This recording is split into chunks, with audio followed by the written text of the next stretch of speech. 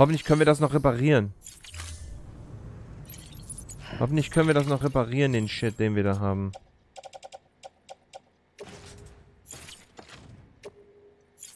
Das müssen wir anders machen. Wartet mal. Da.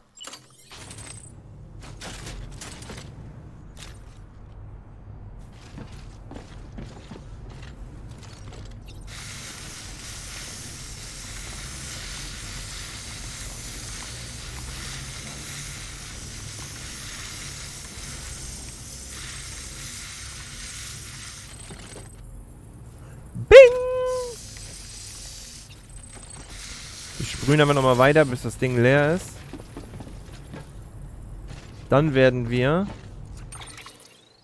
einmal bei Sam das Geländeskelett austauschen, damit wir besser durch den Schnee kommen. Das Kraftskelett ist... Wie groß ist denn bitte das Kraftskelett? Lol, das... Warum ist denn das Kraftskelett, das viel größer ist, Guckt euch das mal an.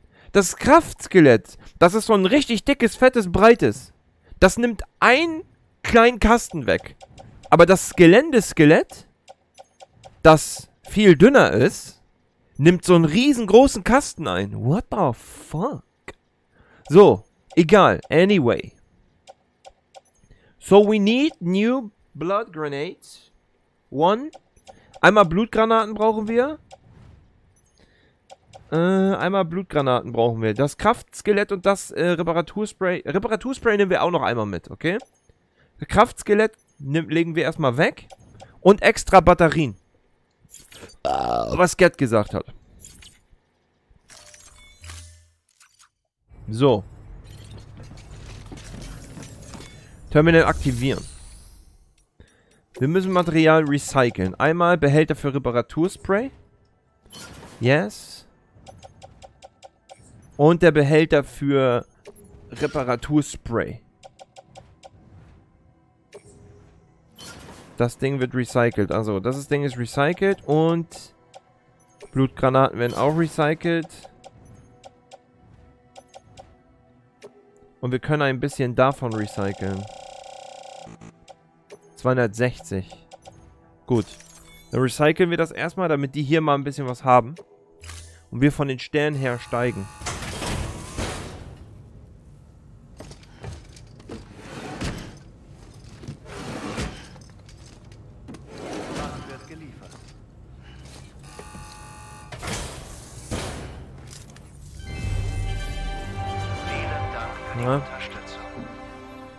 So. Dann haben wir das nämlich erstmal gemacht. Die Behälter sind repariert. Wir haben ein neues Recycling-Werkzeug. So. Wir haben sogar...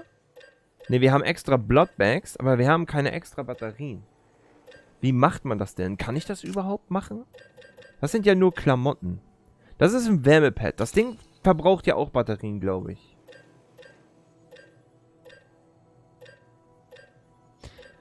Bridget Stiefel 3 haben wir noch an und wir haben auch noch drei, einmal Bridget Stiefel an den Klamotten.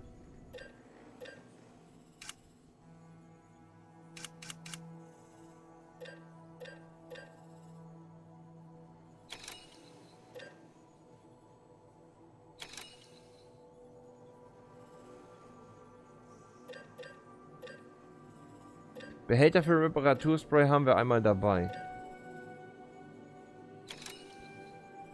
Sollten wir nochmal Leiter mitnehmen? Weil ich glaube, Akku können wir gar nicht mitnehmen, Leute.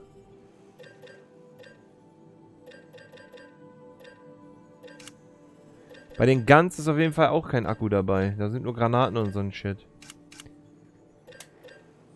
Behälterreparatur, Blutbeutel, Rauchabgabe TCK1, TCK2. Wir könnten nochmal einen TCK2 mitnehmen und eine Ladder. Wir nehmen nochmal eine Ladder mit. Und wir nehmen einen TCK2 mit, falls wir irgendwo in Not geraten. Und wir werden gleich nochmal das Baby ein bisschen schaukeln. Das muss auch irgendwann jetzt nochmal resettet werden. Dass es dem besser geht. Den geht es nämlich auch nicht so gut. So, die Leiter geht auf die Frachtecke. So. Und der TCK... Der kommt oben noch mit drauf. Dann hätten wir die Fracht eigentlich erstmal gut. Wir haben Behälter für Reparaturspray. Wir haben das Kraftskelett, das können wir eigentlich erstmal einlagern. Wir haben noch ein TCK2 dabei, das heißt, wir können egal was bauen. Okay. Wir haben eine Ladder dabei. Wir haben eine Knarre, wir haben nochmal neue Bridget-Stiefel dabei. Wir haben immer noch genug Blutgranaten und einmal Granaten und modifizierte Blutgranaten. Wir haben noch genug Blutbeutel dabei. Geländeskelett haben wir, damit wir jetzt besser durch den Schnee kommen. Jetzt haben wir auch keine Bombe mehr. Wir müssen uns also keine Sorgen darum machen, dass wir in die Luft gehen, wenn wir mal stolpern sollten. Wir werden jetzt nochmal in den privaten Spind Kraftskelett 3 reinlegen.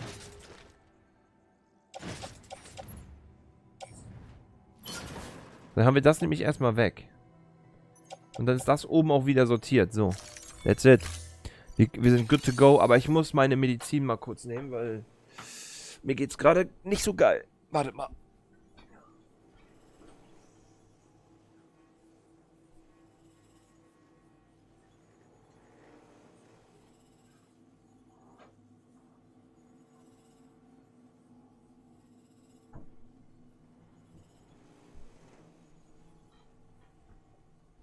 meine Medizin, Leute.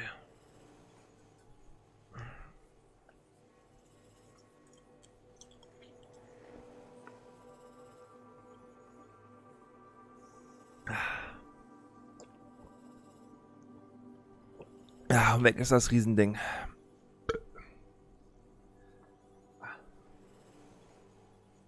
So. Ich hoffe, die wirkt schnell. Müsste aber eigentlich.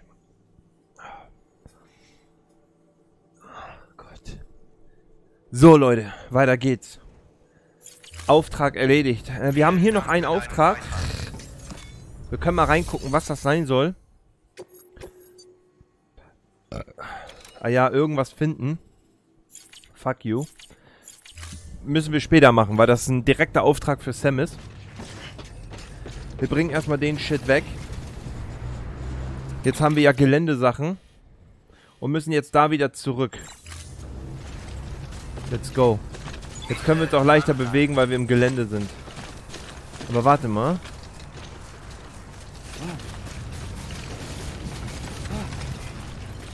Was ist da hinten, Alter? Die haben ja hier alles zugespammt mit Scheiße. Hier ist ja alles zugespammt. Like für Like haben sie auch da. Waffeneinschränkung aufgehoben. Warte mal, die haben hier nicht mal einen Dings hingestellt. Die haben hier alles hingestellt. Nur kein Ladegerät. Warum nicht?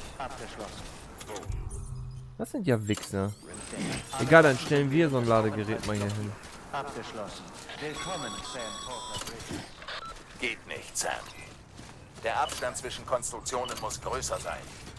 Du musst dir eine Stelle außerhalb des Sensorenrings suchen.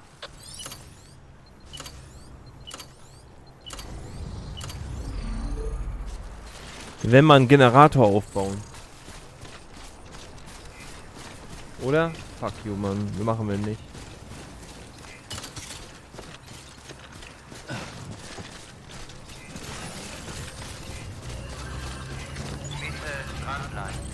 Oh, wir haben schon 104.000 Likes in dem Spiel gekriegt. Das ist schon ziemlich viel. Genau, wir wollten uns erstmal um unser Baby kümmern. Hallo. Komm, wir machen mal ein bisschen. Jetzt beruhigt ihn. Was muss man in diesem Spiel erreichen? Ah ja, ui, Baby. Guck mal, wie siehst du Oh ja. So, es reicht. Ran an den Bauch.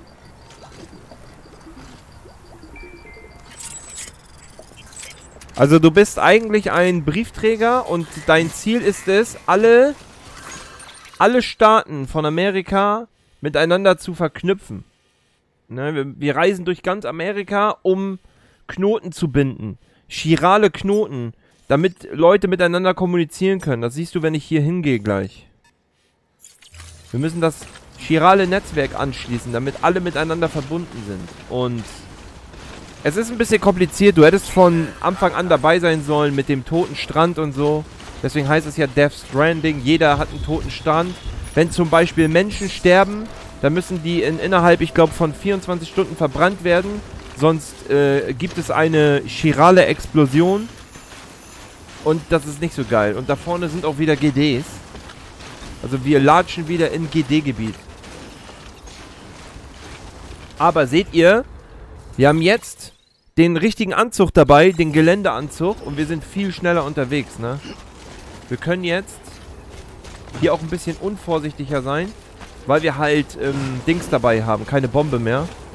Und ihr seht, wir sind schneller unterwegs durch dieses Gelände. Durch den Geländeanzug können wir halt schneller durch den Schnee. Seht ihr? Und jetzt müsste hier vorne gleich GD-Gebiet kommen. Weil ihr seht diese Stränge, die da unten sind. Seht ihr dieses schwarze da? Dieses leicht schwarze Zeug. Warte mal, vielleicht könnt ihr das ja sehen. Äh, hier. Da, neben mir, da. Da sind diese so leicht schwarze Sch Streifen. Hier. Da gehen die hoch. Da sind meistens immer GDs dran. Ne?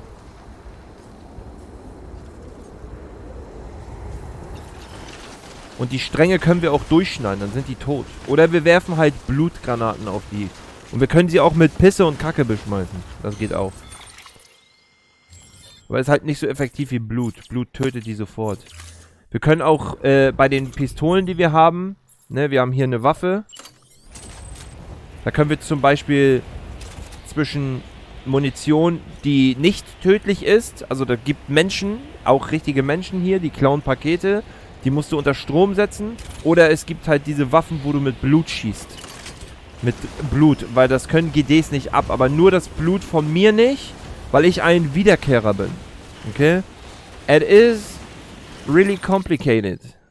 Man hätte von Anfang an da sein sollen. Ich glaube, Get war von Anfang an dabei. Der weiß ungefähr, wo es rumgeht. Und es geht halt darum, Sachen von A nach B zu liefern, weil ich einfach der beste Postbote bin, den sie haben.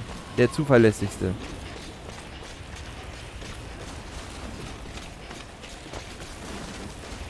Alles, was ich anfasse, wird zu Gold. So, komme ich hier rauf?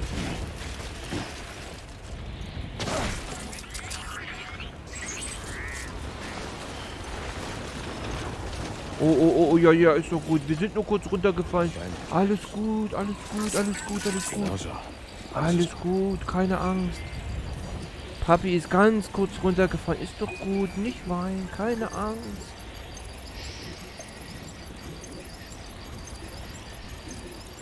Alles okay. Ja, alles okay. Alles gut, alles okay. Ja. Der ist so süß, der Kleine. So, und ran jetzt wieder. Da hat er sich kurz... Da steigt auch der Stresslevel, wenn wir hinfallen und so. Das mag er nicht.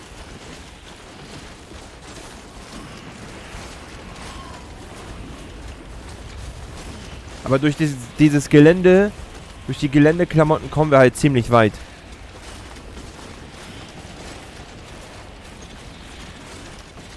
Ich sehe, das Problem ist das gleiche wie in allen Games. Voll damit. Oh, oh, oh, oh, oh, oh, oh. Ganz ruhig.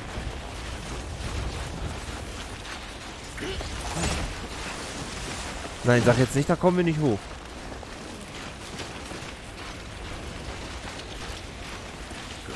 Doch, kommen wir.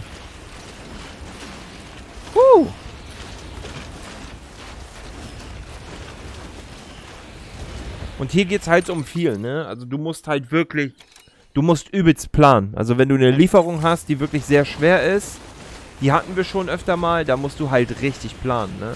Da musst du die richtigen Klamotten mitnehmen. Da musst du, du jetzt zum Beispiel brauche ich auch Wärmepads, weil wir hier im kalten Gebiet sind. Wenn es zu kalt wird, verliere ich Leben. Ne, weil man kann erfrieren hier und so weiter und so fort. Das ist cool gemacht. Wer auf sowas Bock hat und Geduld hat und gerne Sachen von A nach B bringt und sich überlegt und plant, und aufbaut, der ist bei so einem Spiel genau richtig. Die Story ist auch geil, ne? Ist halt Hideo Kojima. Ist halt fucking brilliant und so ein Shit. Ne, aber das muss halt Leuten gefallen. Mir gefällt's. und ein paar anderen auch. Deswegen spielen wir es zu Ende. Weil wir müssen es ja auch mal zu Ende machen. So. Okay. We come closer, we come closer, guys. So we need up... We need to go up here. Und dann sind wir drüben.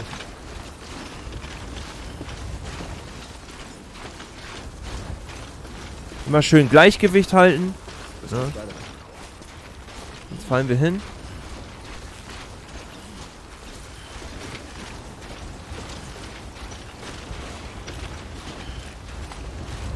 Es müsste eigentlich da vorne... Da vorne sein, da vorne.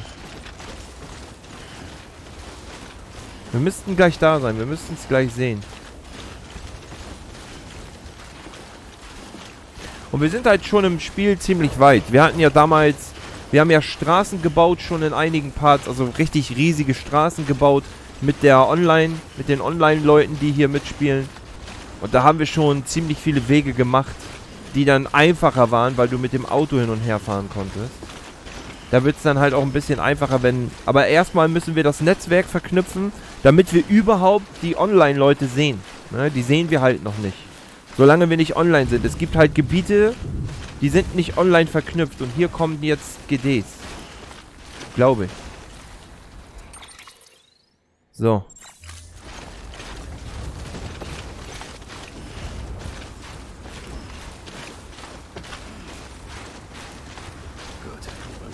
Da unten sind sie.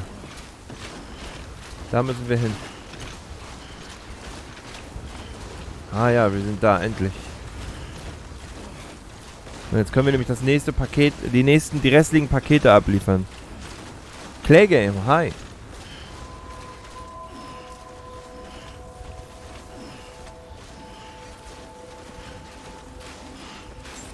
Und jetzt werden wir gescannt, weil wir ins Gebiet gehen und alle Dinger, die leuchten, sind zum Beispiel Pakete, die wir abliefern müssen.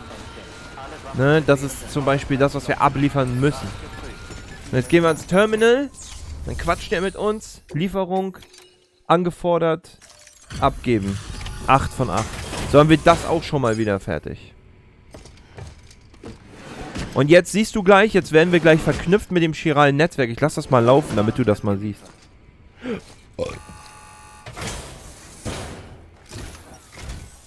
Sam Bridges.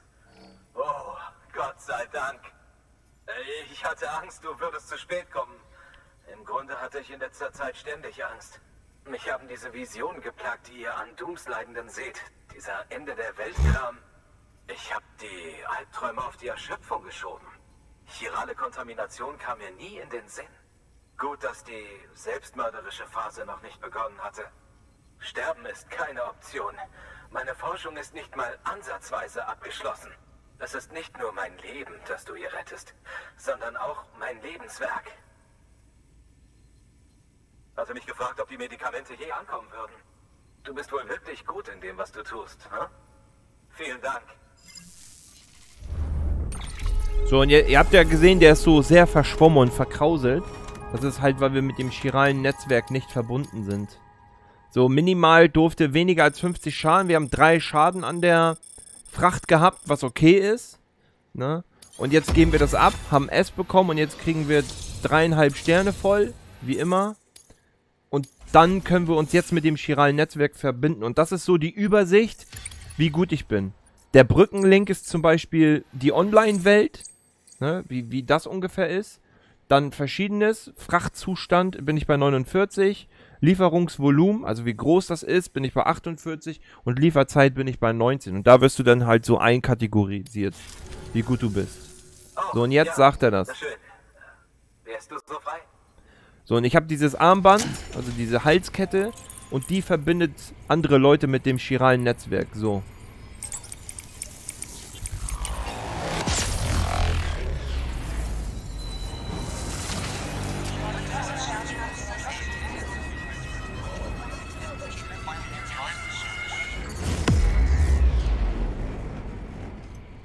So, und jetzt ist das chirale Netzwerk verbunden.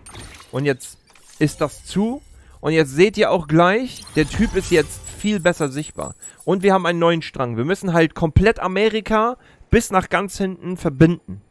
Das ist das Wichtigste. Und wir müssen die Präsidentin, also meine Schwester, befreien, weil die gefangen genommen worden ist. Und darum geht's.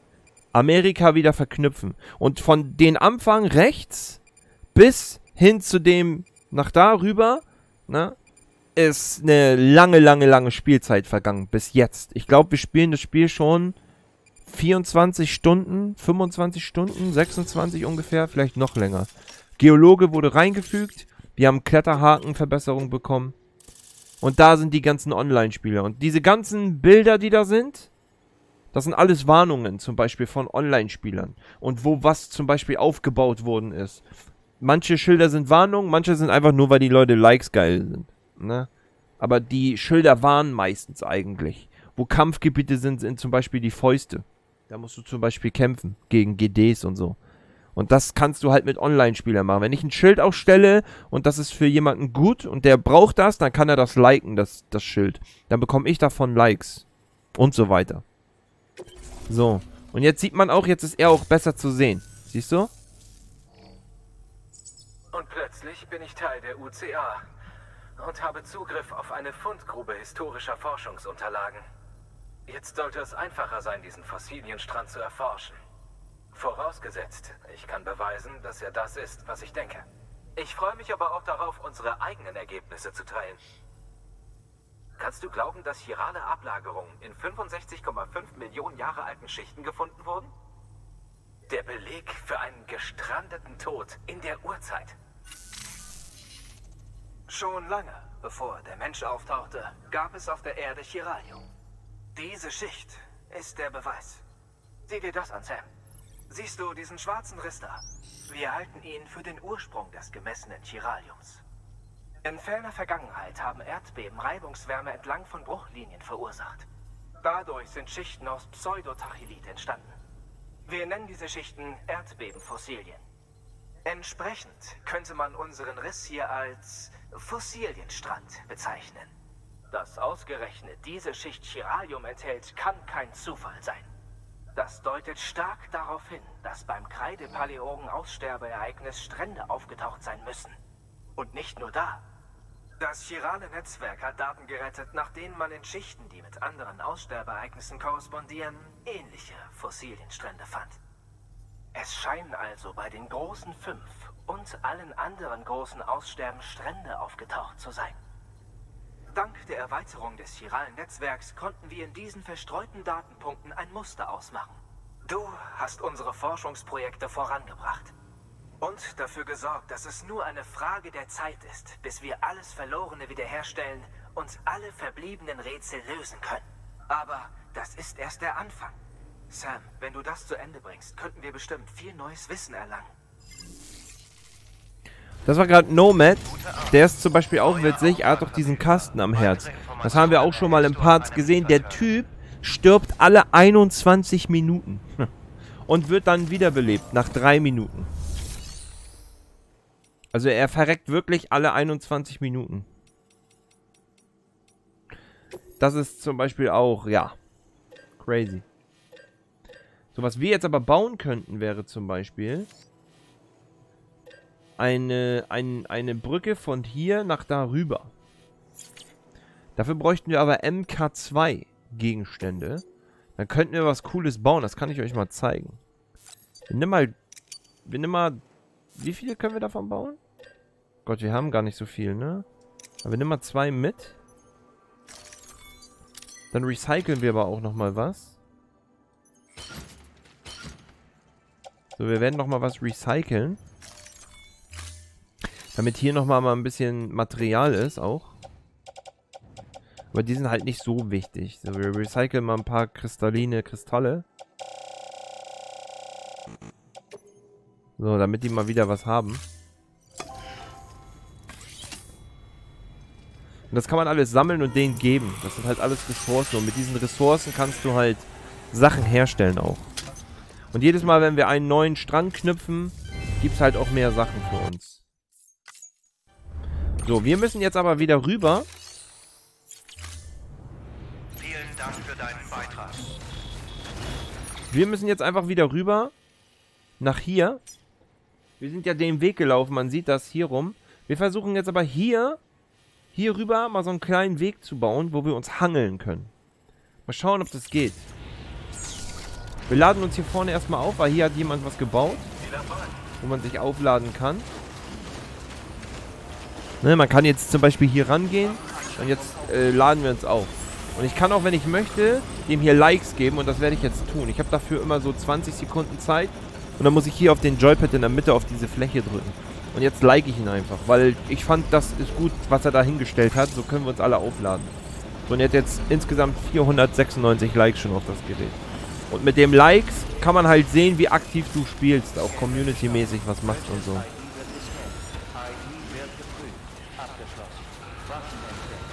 So, da ist ein so ein Teil. Da gehen wir mal rein. Aber ich glaube, das führt nirgendwo hin.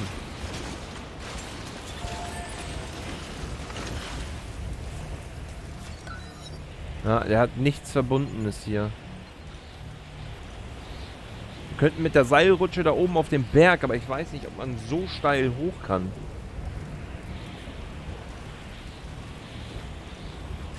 Aber man sieht auch, wir müssen ja da in die Richtung. Da hat auch jemand schon eine Brücke aufgebaut. Ne? Und jetzt sehen wir halt, was auch Leute, die online spielen, gemacht haben. Seht ihr das da hinten? Da hat jemand eine Brücke aufgebaut. Und mit der Brücke, die können wir dann benutzen. Und wir sehen auch, wer, wer das war online.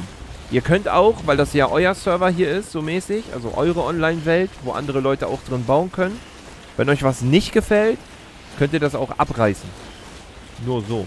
So, wir müssen aber nach hinten wieder zurück, weil wir da noch eine Mission haben die für Sam ist. Diesen Bauchnabel brauchen wir. Der ist immer ganz wichtig für DNA-Sachen und sowas. Und um Forschung voranzutreiben. Deswegen holen wir das.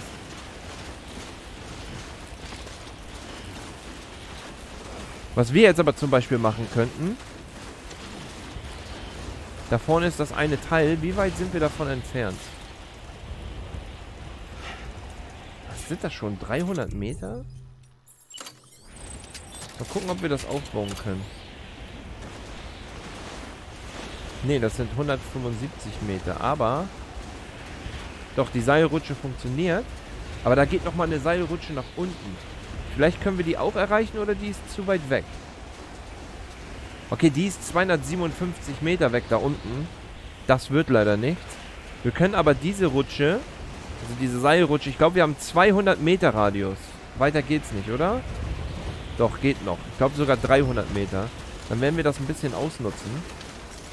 Und gucken, ob wir das ein bisschen verbinden können. Ein bisschen geiler verbinden können vielleicht. Oh, Vorsicht, Kollege. So, was ist, wenn wir...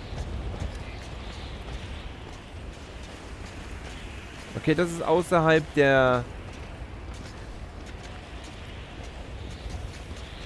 Seilrutschreichweite. Und der ist außerhalb, weil das Hindernis in dem Weg ist. So, wir können aber hier... Wir können die Bridge hier hinbauen. So, seht ihr das? Das sind 200 Meter, die überbrückt werden können. So, jetzt stellen wir das auf. Und dann zeige ich euch jetzt mal was Cooles. Ich glaube, eins von den Dingern haben wir noch, ne? Ja, eins haben wir noch.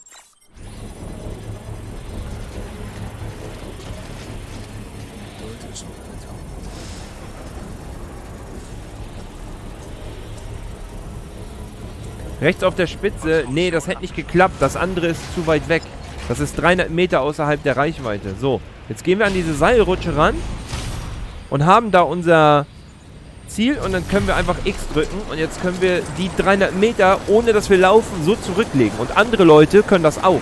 Das heißt, die können jetzt das, was ich gebaut habe, benutzen in ihrem Spiel. Ne? Und sich dafür bedanken. Seht ihr das? So, wir kommen jetzt von A nach A, zack, und wir gehen wieder zurück, weil wir wollen ja runter. Und jetzt versuchen wir noch, irgendwie so nah wie möglich, die unten mit dem oben zu verbinden, dass die Wege nicht zu weit sind. Und so kommen wir schnell von A nach B. Also man kann sich das Leben auch schon leichter machen, indem man solche Hilfsmittel aufbaut, ne? So, und der Typ hier hat halt eine geile Brücke gebaut, die halt perfekt über den Hang geht.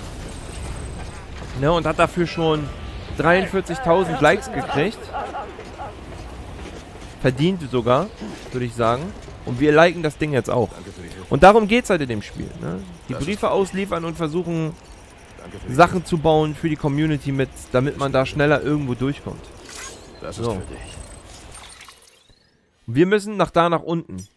Okay? So, let's go.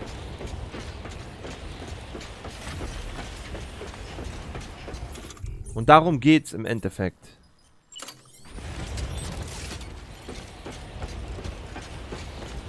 Ja, ja, ich versuche von der anderen Seite nach unten zu rutschen.